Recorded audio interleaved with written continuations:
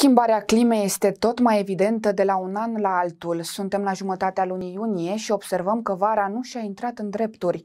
Temperaturile de 20 de grade de astăzi ne duc cu gândul la un început de toamnă. Totodată Europa a avut cea mai rocoroasă primăvară înregistrată pe continent din 2013. Maxime de 21 de grade reci și vânt, așa ne-a întâmpinat luna iunie în acest an. Nerăbdător să înceapă sezonul estival, mehedințenii sunt dezamăgiți de ceea ce se întâmplă și spun că astfel de temperaturi la început de vară nu au mai întâlnit. Anul acum are două anotimpuri, nu mai e primăvară, nu mai e decât iarnă și toamnă, cam așa ceva, în iunie, în iunie stai îmbrăcat. Și răcele, răcel, oamenii răcesc. Doamne, eu sunt topit, nu altceva. Ați mai prins până acum primăvară? Eram eu pe timp, acum vreo 20-30 de ani, era altceva. Știai că vine primăvară, la 1 martie începea să curgă pârâurile așa după zăpadă. În aprilie, pe 10 aprilie, țin minte, era căldură, te pripai la soare. Acum ce să... Azi, două, trei zile de iarnă, două de, vară, de primăvară, că de vară nu... Asta s-a schimbat timpul, ce să faci?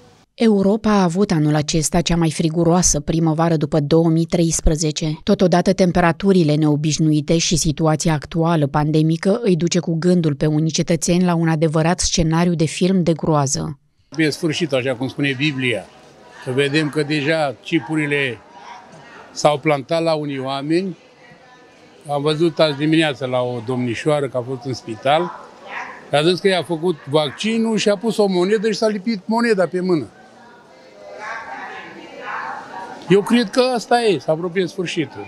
Nu timpurile sunt schimbate, nu mai e cum au fost acum câțiva ani în urmă. E schimbat tot. Ați mai prins uh, primăvera așa friguroase? Nu, nu. Ce părere aveți de temperaturile din acest sezon? Cam schimb, s-au schimbat, nu vedeți, odată e cald, după o zi, două, iar e o, o scădere de temperatură foarte, foarte mare, nu știu de ce. Simțiți că e vară? Nu prea. Nu prea, astăzi nu prea se simte. Nu. La 20 și ceva de grade, nu știu, ar trebui să fie cel puțin vreo până aproape de 30. Toate acestea se întâmplă în condițiile în care 2020 a fost cel mai călduros an înregistrat vreodată în Europa. Anul trecut, temperatura medie a depășit cu 0,4 grade Celsius temperatura medie a următorilor 5 ani, cei mai călduroși. Cel mai mult s-au încălzit zonele arctice din Siberia, un record absolut cu 4,3 grade Celsius peste medie.